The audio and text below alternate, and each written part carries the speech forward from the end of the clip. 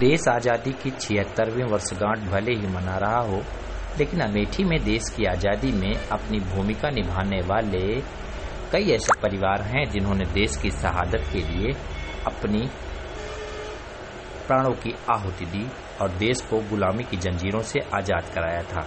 अमेठी ज़िले में मुसाफिर खाना क्षेत्र में एक ऐसे स्वतंत्रता संग्राम सेनानी गुरु प्रसाद सिंह हैं जिन्होंने अपने प्राणों की आहुति देकर देश को गुलामी की जंजीरों से आज़ाद कराया था।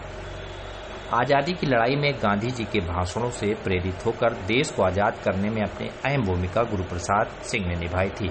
इसके चलते न सिर्फ़ इन्हें यातनाएँ सहनी पड़ी, बल्कि अलग अलग समय अलग अलग जेल में देश की आज़ादी के लिए इन्होंने कई बलिदान दिए।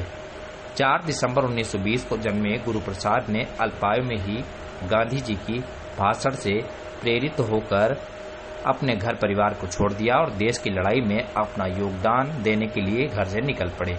उन्होंने अपने पूरे जीवन काल में सिर्फ़ और सिर्फ़ देश की सेवा में ही गुजारे।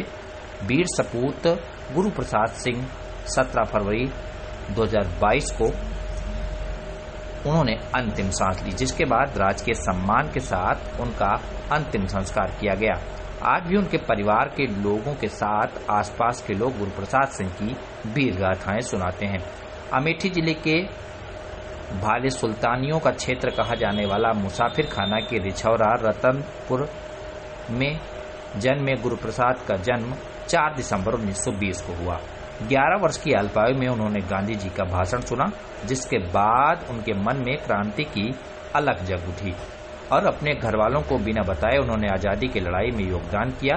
अंग्रेज़ी हुकूमत से लड़ते लड़ते उन्हें पकड़ लिया गया, जिसके बाद उन्हें दो साल तक सुल्तानपुर जेल में बंद किया गया। यहाँ के बाद उन्हें नैनी जेल में बंद किया गया, लेकिन उन्होंने हार नहीं मानी और देश की आज़ादी के लिए क्रांति की ज्वाला लगातार वे जलाते रहे। इन्होंने देश में आज़ादी के साथ साथ भूमिदरी आंदोलन में भी अपना योगदान किया। इसके साथ ही उन्नीस से उन्नीस सौ बासठ तक इन्होंने प्रथम विधायक के तौर पर अपना प्रतिनिधित्व किया। आइए उनके परिवार के स्वतंत्रता संग्राम सेनानी से जानते हैं पूरी कहानी। जब तक उनको जो है देश की आज़ादी के लिए उनकी ललक थी और वो 20 वर्ष की अवस्था में मुसाफिर खाना पढ़ने के लिए गए थे तो गांधी जी के विचारों को सुन करके इस आंदोलन में कूदे। उसके बाद उनको पकड़ा गया। सुल्तानपुर जेल में उनको एक साल तक यातनाएँ दी गई। उसके बाद भी वो नहीं टूटे तो उनको नैनी जेल भेजा गया। नैनी जेल में भी लगभग एक साल तक उनको कैद किया गया और उस कैद में अनेक प्रकार की यातनाएँ अंग्रेज़ देते रहे। उसके बाद भी उनके अंदर वो जुनून जो देश को आज़ाद करने का था क्रांतिकारी का जो जुनून था वो हमेशा जागृत रहा और देश आज़ादी आज़ाद होने तक वो हमेशा आज़ाद देश इसके लिए संघर्ष करते रहे। कहानी? मुशाहिर खाना क्षेत्र में लगभग अगर ढूंढा जाए तो स्वतंत्रता संग्राम सेनानी कम से कम जो है पच्चीस से तीस परिवार होंगे। और शहीद परिवार तो सैकड़ों में है जो प्रथम स्वतंत्रता संग्राम में शहीद हुए थे उसका स्तंभ भी बना हुआ है। बाबा जी थे ये देश की आज़ादी के लिए इतने मतवाले हो गए थे कि अपने घर परिवार को छोड़ करके यातनाएँ सहते रहे। एक बार इनको इस क्षेत्र के जो यशो थे उनको पकड़ा। क्रांतकारियों के साथियों के साथ में और ये कहा कि इनके पिताजी से कि आप माफ़ी मांग लें और मैं इनको छोड़ दूँगा इनके साथियों के साथ में।